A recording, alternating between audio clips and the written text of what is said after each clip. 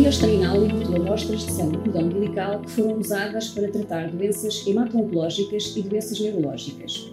As amostras até agora libertadas foram usadas no próprio, o que se designa por tratamento autólogo, e entre irmãos compatíveis em transplantes halogénicos relacionados. Assim, no contexto de doenças do sangue e do sistema imunitário, já foram usadas amostras para o tratamento de imunodeficiência combinada severa, leucemia mieloide aguda e anemia plástica. Para além disso, e para o tratamento de doenças neurológicas, foram libertadas unidades que foram administradas a crianças com paralisia cerebral e autismo. A primeira amostra libertada foi usada para o tratamento de imunodeficiência combinada severa, tendo sido usadas as células staminais do irmão do menino doente. Este transplante bem-sucedido foi realizado no IPO do Porto em 2007.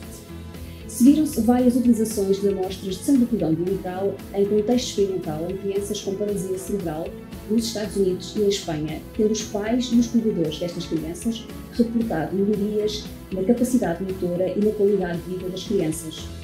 Outra amostra foi usada com sucesso para o tratamento de leucemia mieloide aguda em Espanha após dois transplantes mal sucedidos, tendo tido o pai como doador.